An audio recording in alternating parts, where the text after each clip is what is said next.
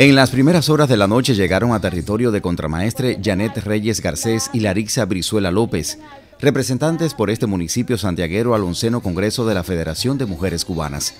Las esperaba una representación del pueblo frente a la cual se encontraban las principales autoridades del territorio, entre otros, el primer secretario del partido Joel Suárez Zapata y el presidente de la Asamblea Municipal del Poder Popular, Manuel Rodríguez Alfaro. Contenta de la calurosa bienvenida que nos han hecho, decirle que fue una experiencia única,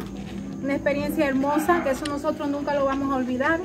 y que pusimos en alto allí la mujer santiaguera y la mujer cubana. Las tres defendimos mucho y contra Los presentes también acogieron a la delegada por el municipio de Tercer Frente a la Magna Cita Femenina, en las sesiones del evento fue compartida la experiencia de contramaestre en asuntos relacionados con la puesta en práctica del Programa Nacional de Adelanto a las Mujeres. De manera especial, trascendió un sector como el productivo, en el que Larixa y Janet encarnan la labor que cotidianamente las mujeres lideran para impulsar los planes de desarrollo local de contramaestre desde el empoderamiento femenino. Ricardo Chacón Rubio, Canal Cubano de Noticias.